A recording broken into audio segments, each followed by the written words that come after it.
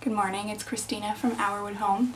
So today I'm showing um, this really easy, not really a tutorial, but this way that I have found to help um, control the frizz in my hair and the amount of oil because I don't wash my hair every day. I wash it maybe every two or three days and it's been a process to get to that point but now um, the only issue I have is a little bit of oiliness at the roots and today is actually hair washing day.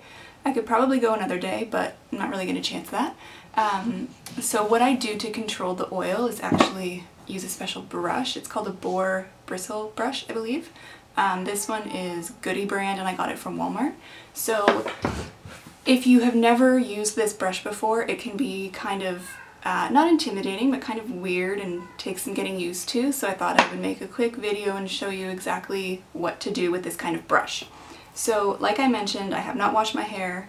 Um, this is, my hair is naturally curly and wavy, but this is what it looks like in the morning after sleeping on it, so I haven't washed it, haven't brushed it, haven't done anything.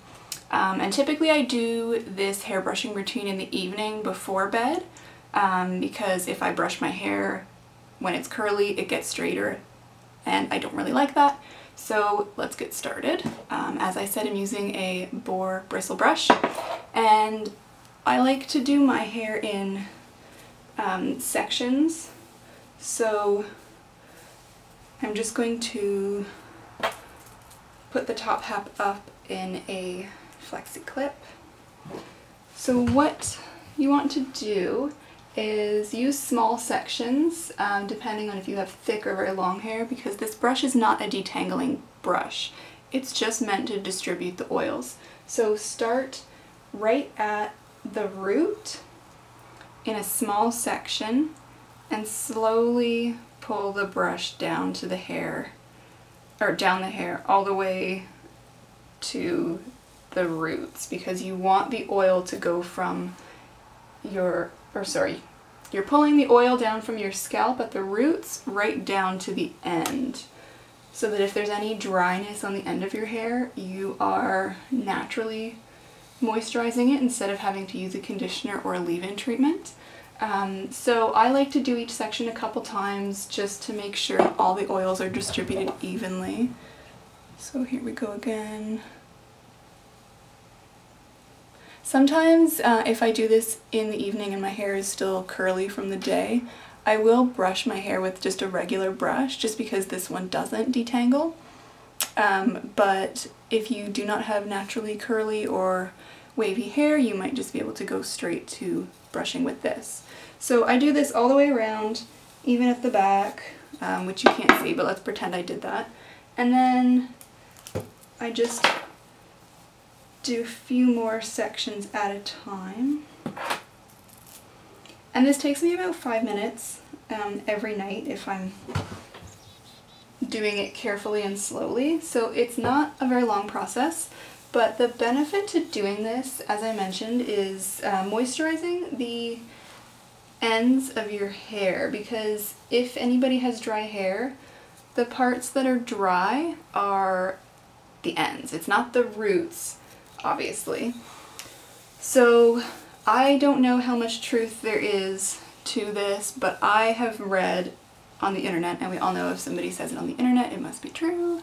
So I've read that um, the reason people have such oily hair sometimes is because they're actually stripping their hair of its natural moisture. Um, and that happens through excessive washing, using um, harsh uh, shampoos or treatments, stuff like that. So when you wash your hair every single day, um, you're actually stripping away any natural moisture your hair has and that your hair, your scalp kind of freaks out um, and tries to overcompensate for the dryness that you have created by overwashing uh, and it compensates by producing way more oil. So you kind of have a, a weird cycle where your hair is oily, so you wash it, but it just gets more oily, and that's because it's trying to compensate for the lack of natural oils. So I, like I said, I wash my hair a couple times a week. Um, it's taken me it took me about a month to get into a good routine um, just because it's such a change for my hair and my scalp. So um, when I started doing that, it looked pretty gross for a while, but as you can see, I think it's pretty tolerable now. Um, it's a little puffy just from brushing, but I could go out with hair like this. Um, so anyways, when you stop washing your hair as much, your hair can kind of relax and it begins to self-regulate the amount of oils it produces. So my hair isn't that oily in general anymore because I've stopped um, treating it so harshly and stripping it. The only time I do get oil right here that's really excessive is if um, my hair is hanging down in my face and I keep brushing it away because it's kind of at an awkward length now. Um, but that's about it. And I highly recommend anybody uh, switching to just washing a couple times a week and helping to treat the ends of your hair using the Boar bristle brush. Um, it's cheaper because you're using less shampoo and it's better for your hair and as some of you know, last year I had a very short pixie cut. Uh, I'll link to a photo of that in the description on the video.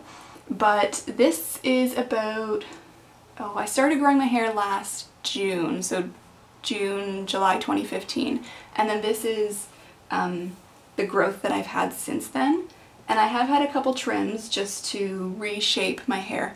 But a lot of people ask me, like, how do you get your hair so long? How did it grow so fast? And I think it's because I don't treat it with any um, harsh shampoos and I don't strip its natural oils. So it's pretty healthy. And even my hairdresser has always said my hair is very healthy, but now it's even healthier um, since I am treating it a little better. And I think if your hair is healthier, it's going to grow faster and be more cooperative. So I highly recommend um, reducing the amount that you wash your hair and also reconsidering what sort of shampoos you're using. Um, I used to use a um, vegetable glycerin bar of soap when my hair was short, but I found that since it's gotten longer, it is very difficult to rinse out, so I don't do that as much. Well, I don't actually do it ever. Um, I will admit the shampoo that I use is actually dish soap. Um, it is Greenworks brand by Clorox and it kind of started off as an accident that I was using it because I ran out of um, soap and all we had in the house was dish soap and I really needed to wash my hair so I used it. It worked so well. Um, it's probably not the best for your hair, but this brand is sulfate free, phosphate free, has no dyes and extra fragrances. So, I mean, it works for me. Um, I can't say it'll work for everybody, and honestly, the only reason I use it is because it's very inexpensive and I can't justify using a $10 bottle of shampoo, so that's a rant for another day. But anyways, um, that's all I wanted to say about the bristle brush.